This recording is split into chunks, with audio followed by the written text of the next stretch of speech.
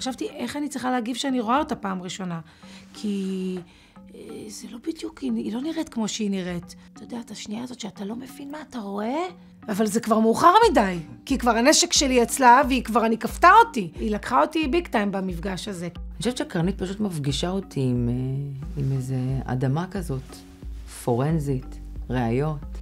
שלי לא שם, שלי ב...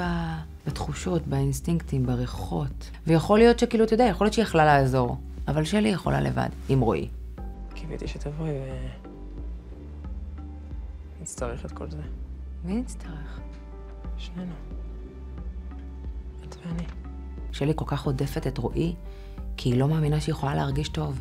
היא כאילו כל כך לא יודעת לחייך בתוך הלב, ובטח לא פיזית, שזה כאילו מוזר לה ההרגשה, אז כל ההתנגדות שלה, תמיד היא תברח לכעס, תמיד היא תברח להאשמות, רק לא לרגש, רק לא לרוך. מהעונה השנייה לעונה השלישית חלפו שנתיים, ששלי בתוך הים.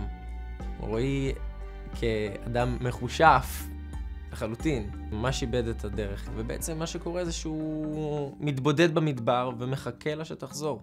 ממש באופן אה, פנאטי, באופן דתי.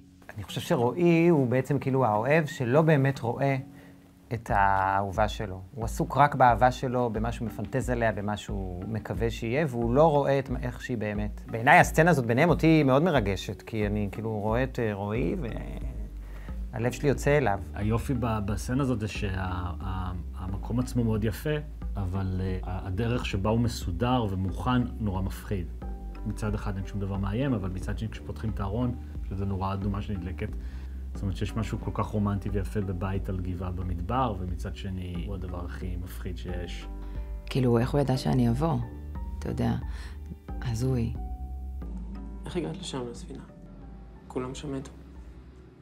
אני לא הרגתי אותם. מישהו הרג.